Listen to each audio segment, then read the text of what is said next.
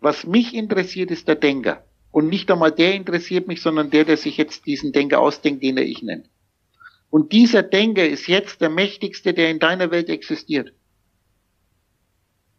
Wer ist mächtig in der Welt? Da müssen wir jetzt erst einmal klären, was, was hast du für eine Vorstellung bei dem Wort Welt? Und jetzt schaust du, was dein Programm dir für Vorstellungen reinspielt, wer da mächtig ist. Die Politiker, das Kapital, die Illuminaten, die Rothschilds. Wer bestimmt das?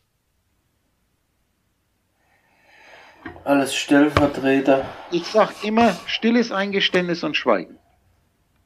Weißt du, jedes Mal, ich habe so viele unterschiedliche kleine Sätze und ich sage, dieser Satz ist unheimlich wichtig. Jeder Satz von mir ist wichtig. Ein Denker ist prinzipiell durch, sollte dir einleuchten. Wenn dir das nicht einleuchtet, bist du sowieso ein Nichts. Nicht wert, dass du überlebst. Ein Denker ist prinzipiell immer mächtiger wie seine Gedanken.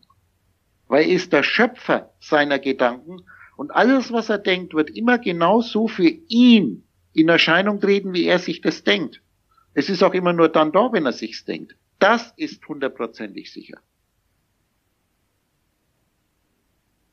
Und jetzt kommt natürlich das Problem, dass sich ein Denker Leute denkt, Leute, mit ihm. MT, gestaltgewordene Erscheinungen des Meeres. Der denkt sich Leute aus und meint, die Leute sind mächtiger wie er selbst. Warum? Weil er sich mit einem Gedanken von sich verwechselt. Ich sage immer, wenn ein Mächtiger auftaucht, entsteht im selben Moment mindestens ein Ohnmächtiger. Wenn man in Ohnmacht gefallen ist, dann hat man sein Bewusstsein verloren. Das man eigentlich gar nicht verlieren kann, man kann es bloß vergessen.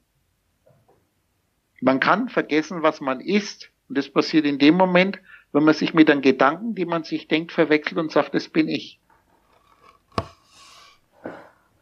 Was das, wenn du das verstanden hast, nicht begriffen, begriffen haben das viele, die ich mir jetzt ausdenke, die angeblich Holofeeling machen. Und da schmunzel ich bloß, weil meine Gedanken niemals was verstehen können. Du wirst es dann verstehen, wenn du begreifst, dass du ich bist. Wer ist ich? Ich ist der, der jetzt den Udo sprechen hört, der sich jetzt den Udo ausdenkt.